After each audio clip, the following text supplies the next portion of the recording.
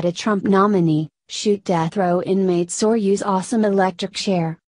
Trump judicial nominee, just shoot death penalty cases. What's the best way to deal with violent murderers and save the American taxpayer a few bucks in the process? If one Trump nominee has his way, the answer is simple just use a 25 cent bullet. Brett Talley is currently being considered for a position on the U.S. District Court for the Middle District of Alabama. In online posts from several years ago that have now been linked to the nominee, Talley expressed some no nonsense views that are making liberal heads explode.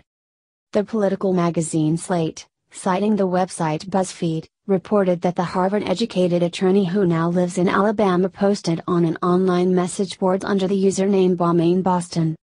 In those posts, which covered a wide range of sports and non sports topics, BamaInBoston was open about his enthusiasm for the death penalty, Slate reported. In 2015, for example, BamaInBoston noted that it would be awesome if Alabama brought back the electric chair.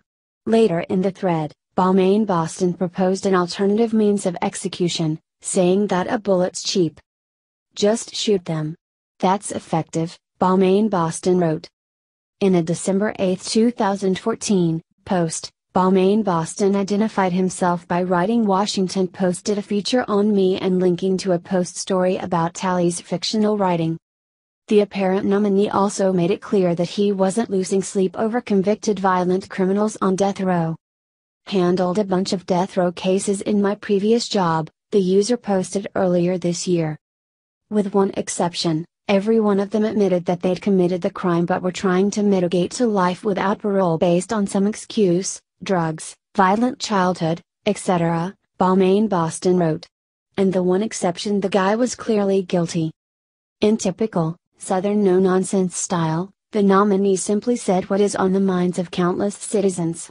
Left leaning outlets will no doubt paint those sentiments as extreme, but the majority of Americans appear to agree with him.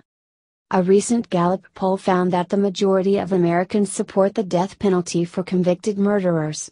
Public opinion has been swaying in the last few years, but has averaged over 60% in favor of capital punishment over the last decade. And truly, it's tough to think that many Americans would have a real problem with the death penalty being applied in barbaric cases like Dylann Roof, who murdered innocent churchgoers in Charleston, South Carolina in June 2015. That's especially true when the alternative is allowing criminals to live to a ripe, old age, like California cult killer Charles Manson did.